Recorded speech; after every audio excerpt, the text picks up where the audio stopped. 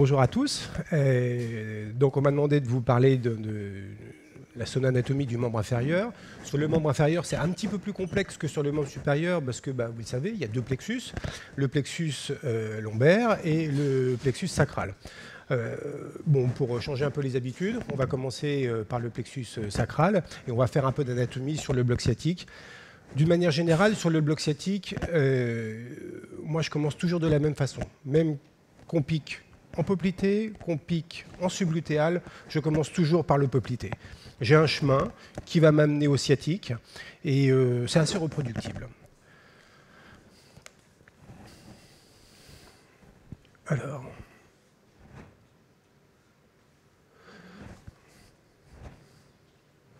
Je vais m'approcher un tout petit peu.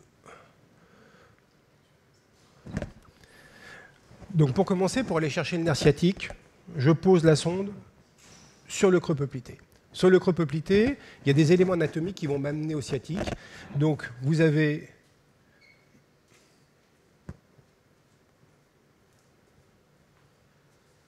ici le condyle latéral, ici le condyle médial.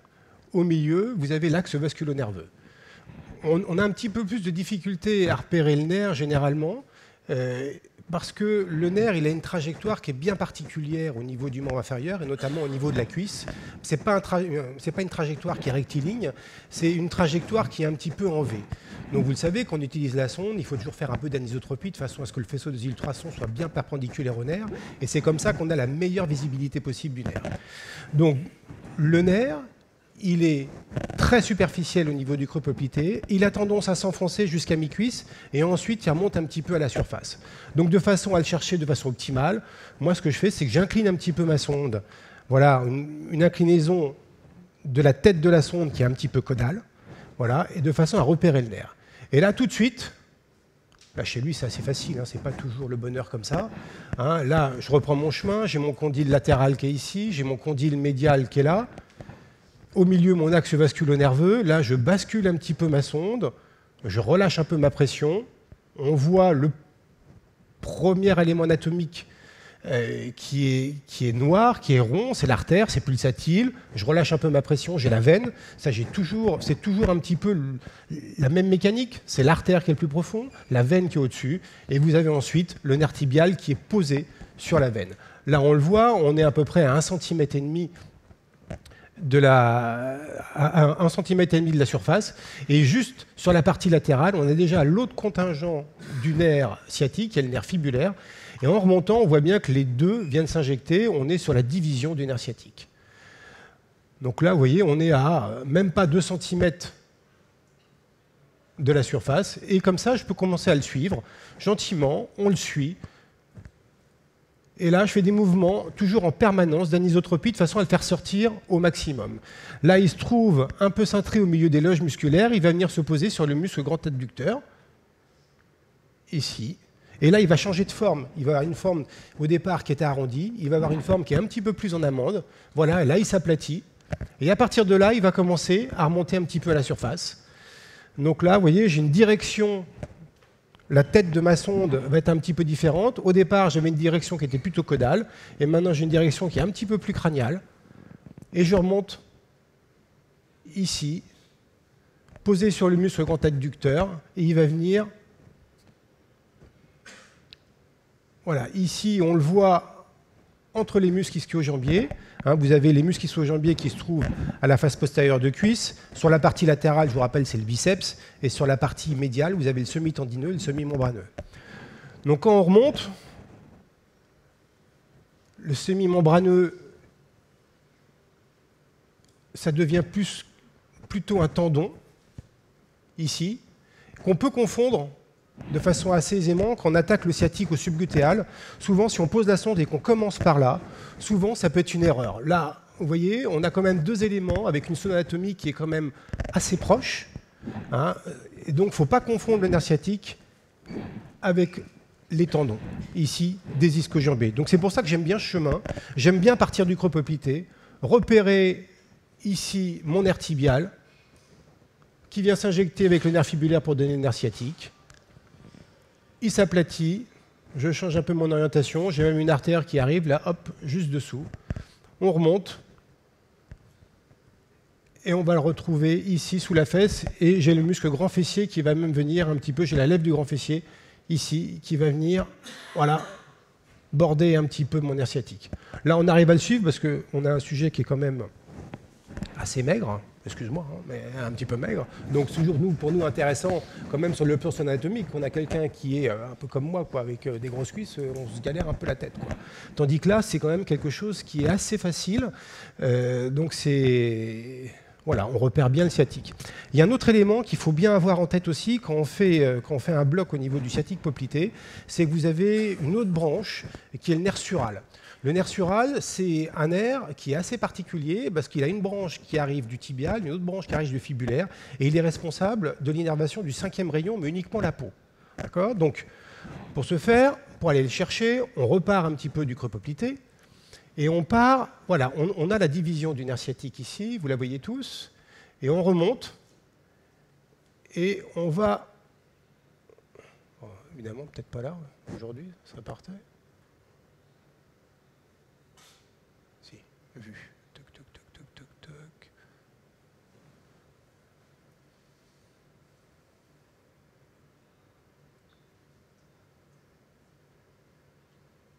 Ouais, en fin de compte, il s'échappe au moment de la division. Je ne sais pas si vous le voyez.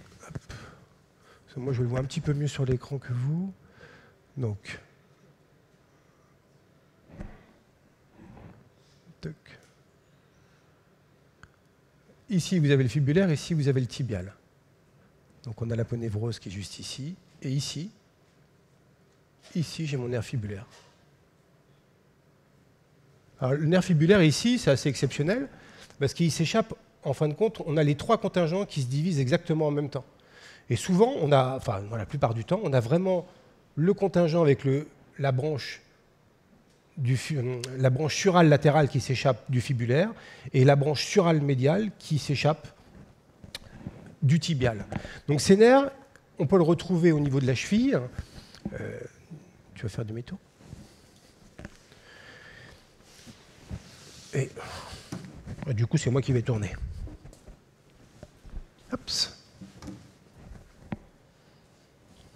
Je m'assieds. Hein. Si on repart,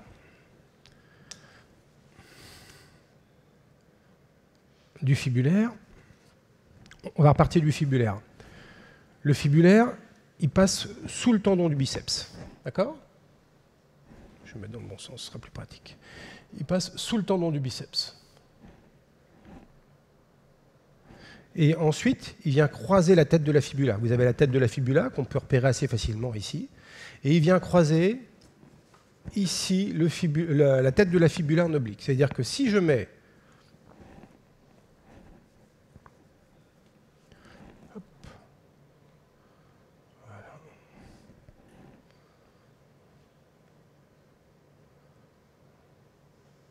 Ici, vous avez, le, vous avez, le nerf fibulaire. Vous voyez, je croise, j'ai repéré la tête de la fibula. Mon nerf fibulaire, il passe sous le tendon du biceps, et ensuite, il se divise en deux. Je vais avoir la partie du fibulaire profond et ensuite le fibulaire superficiel. On va se mettre un petit peu plus voilà, en position comme ça, ce sera un petit peu plus facile. La tête de la fibula, ici. Voilà. Vous l'avez en haut. OK? Et ensuite, il va se diviser. Il va se diviser en deux. Voilà, hop, on va avoir une partie pour le fibulaire superficiel, une partie pour le fibulaire profond. Pourquoi ces deux branches sont intéressantes? Parce que vous pouvez aller les chercher de façon élective quand vous faites une chirurgie du pied. Une chirurgie du pied, la plupart des chirurgies du pied s'intéressent au premier, le deuxième et le troisième rayon. On peut avoir de temps en temps des mortones entre le troisième et le quatrième, et de temps en temps, on peut avoir aussi des quintus varus. Il faudra aller chercher spécifiquement euh, le, nerf sural, en plus euh, du reste euh, des autres nerfs. Donc, au niveau de la cheville, vous pouvez attraper l'ensemble des nerfs terminaux pour faire l'ensemble de la chirurgie du pied. Si on repart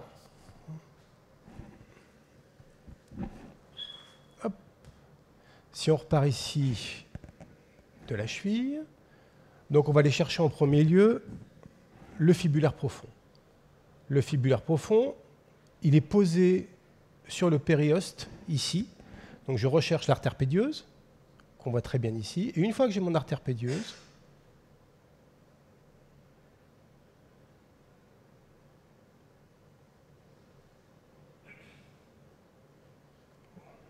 bonne celle-là. Une fois que j'ai mon artère pédieuse, normalement j'ai mon fibula profond qui vient croiser.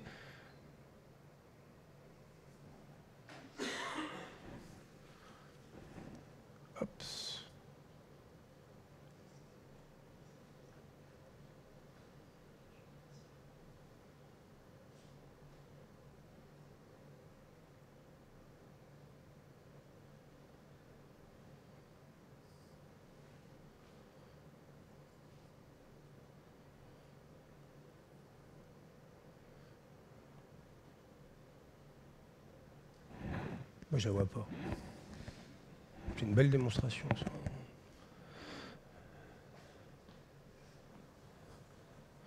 Je vais regarder ça.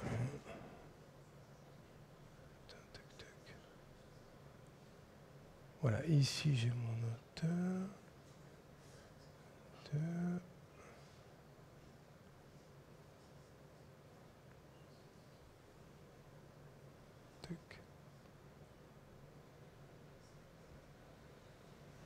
Je, très honnêtement, je ne vois pas le fibulaire profond. Vous le voyez?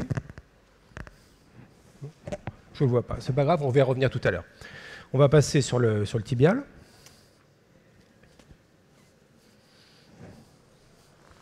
Alors, aller chercher le tibial ici, c'est un intérêt parce que c'est le nerf qui est responsable de toute l'innervation plantaire des os du pied. Donc, il passe en arrière de la malléole interne. Donc ici, j'ai la malléole interne. J'ai mon petit bip. Et là.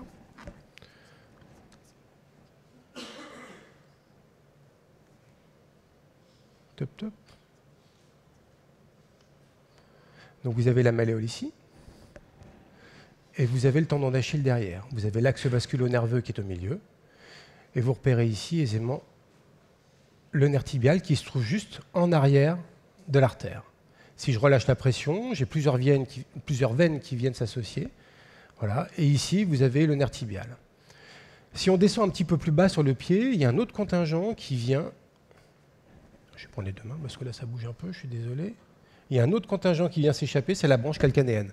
C'est la branche du tibial qui vient sur la partie du talon ici.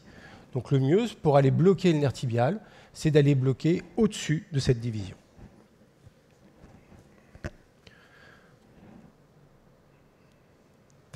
Voilà ici, mon nerf tibial. Ici.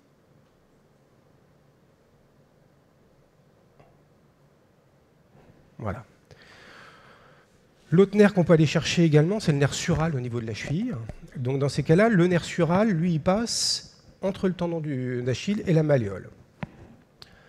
Souvent un petit peu complexe à chercher parce que c'est un nerf qui est quand même relativement petit et pour ça on cède d'un élément adjacent qui est la veine surale. Alors tu vas plier un tout petit peu ici.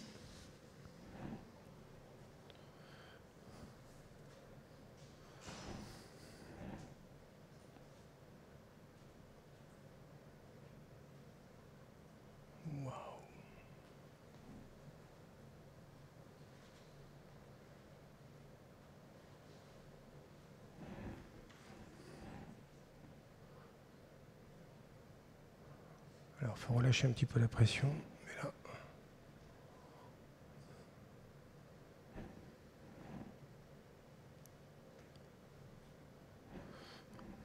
C'est ma chance.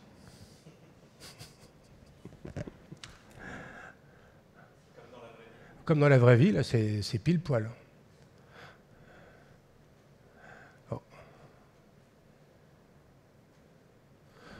C'est une belle démonstration, je suis désolé. Hein. Euh, l'autre, euh, il y a un dernier élément qu'on peut chercher également, c'est le nerf fibulaire superficiel. Le nerf fibulaire superficiel, il se trouve sur la partie latérale. On a vu tout à l'heure que le fibulaire ici divise en deux. Il y avait une partie pour le fibulaire profond et l'autre pour le fibulaire superficiel. Il court sur la partie latérale. Ici, vous l'avez Ici, vous avez le fibulaire superficiel qui se trouve au milieu de l'écran. Il est posé sur la ponévrose et ensuite il vient se diviser. C'est des petites branches qu'on va retrouver sous la ponévrose.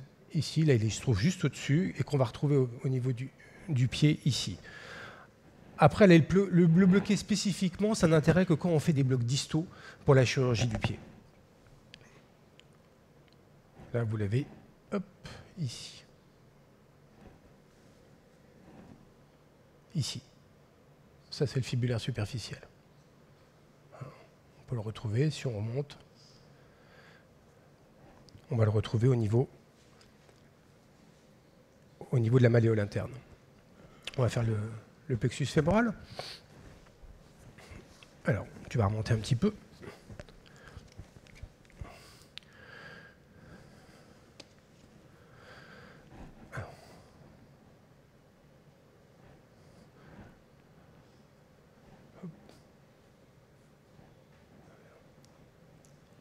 Alors, je vais me mettre debout, ce sera peut-être plus simple. Voilà, donc si on reprend pour le plexus fémoral, le principal repère anatomique, c'est l'artère. donc là, vous avez l'artère, on essaye de se placer au-dessus de la division de l'artère. Vous avez la, fémorale commune qui va se diviser en fémorale superficielle et fémorale profonde. Donc on essaye d'être au-dessus de cette bifurcation. Et là, donc, vous avez la partie latérale qui se trouve à la droite de l'écran et la partie médiale qui se trouve à gauche. Sur la partie médiale, on devine la veine. Sur la partie latérale, posée sur le muscle psoas, vous avez le nerf fémoral. Ici, qui est une forme un petit peu en amande, un petit peu en oblique. Il est entouré par les fascias. Si on a un petit peu de mal à le trouver, hein, on peut céder des éléments anatomiques adjacents, vous avez au-dessus le fameux fascia lata, et ensuite vous avez le deuxième fascia qui est toujours un petit peu plus difficile à voir, qui est posé sur le muscle ici, sur le muscle psoas, et vous avez le fascia iliaca qui vient le recouvrir. Quand on fait un bloc fémoral, dans ces cas-là, enfin, on peut piquer soit en dehors du champ, soit sous le champ. Moi, je préfère piquer par voie latérale. Hein, normalement, je mets mon échographe en face. Là, je me pousse hein, pour que, vous puissiez voir. Mais de façon à avoir un bon alignement entre euh, l'opérateur, le malade et l'échographe. Et dans ces cas-là, on pique ici sur le, plan sur le plan latéral, de façon à ouvrir un petit peu l'espace, on ouvre les fascias et on arrive ici donc à décoller vraiment le fémoral. Par le même point de ponction, c'est assez difficile. Moi, je préfère repiquer. On, préfère, on peut aller chercher également le nerf cutané latéral de cuisse, qui est l'autre élément, euh, un des trois éléments hein, du, du, plexus fémoral, des branches terminales du plexus fémoral. Dans ces cas-là, je vais aller chercher le cutané latéral de cuisse de la façon suivante. Pareil, j'ai un chemin où je pars de l'artère, je mets ma sonde en transverse, et je me décale latéralement. J'ai un premier relief musculaire qu'on voit ici, qui est le muscle sartorius, et à la pointe du sartorius, vous avez... je reprends le fémoral, le sartorius, et à la pointe du sartorius, au-dessus, vous avez ici le cutané latéral de cuisse, qui se trouve là, qui se trouve... Il peut déjà être divisé, hein, il donne plusieurs branches, Hein, il, y a, deux ou trois branches, mais juste avant la division, on l'a à cet endroit-là. Donc ça, vous voyez, on est vraiment sous la peau, on est à 2 mm sous la peau, et on est un petit peu éloigné du point de ponction. Donc moi, je préfère repiquer. L'autre branche terminale également du plexus, c'est l'obturateur. Alors l'obturateur, pour aller le chercher, on fait un petit peu de rotation, un petit peu de flexion également. Donc on repart du point de l'artère fémorale et vous avez un petit peu plus en dedans le pectiné et après vous avez les muscles adducteurs. Et une fois qu'on a les muscles adducteurs, vous voyez, on a ce mouvement de va-et-vient. On va se donner un petit peu plus de profondeur. On va donner un petit peu plus de profondeur. Et là, on a déjà une branche. Une branche de l'obturateur, c'est la branche antérieure. Vous avez l'entassement des trois muscles adducteur, le long, le court, le grand. Et entre chacun de ces trois muscles, vous avez euh, les branches de division du nerf obturateur qui viennent courir, et ici donc la branche antérieure. Et si on remonte très haut, voilà, on va arriver ici en sous-pectinéal, et là on a la branche postérieure qui vient rejoindre la branche, antérieure, et on arrive en sous-pectinéal, où on a même la petite artère qui est juste à côté. Donc là on est sur l'obturateur commun. Voilà. Donc pour aller chercher l'obturateur, il faut aller chercher, si on pique à l'endroit où il y a la division, le mieux c'est quand même de piquer sur les deux branches, et la branche antérieure et la branche postérieure. Nous, c'est ce qu'on fait. Le canal des adducteurs. Donc on peut aller, euh, on peut être un petit peu plus sélectif euh, si, on va aller bloquer une partie du plexus, du, du, nerf fémoral, en allant le chercher au niveau du canal des adducteurs. Donc c'est pour avoir une analgésie partielle du genou et qu'on ira associer à d'autres blocs et avec des infiltrations généralement faites par le chirurgien. Pour ce faire, on repart ici du fémoral, on repère le nerf, et là on descend, on descend, on fixe le nerf, et en fin de compte, vous avez le muscle sartorius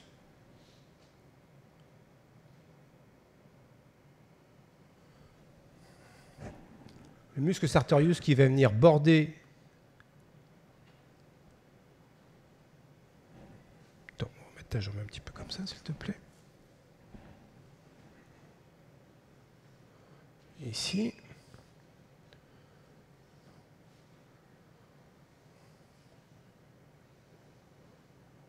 Voilà.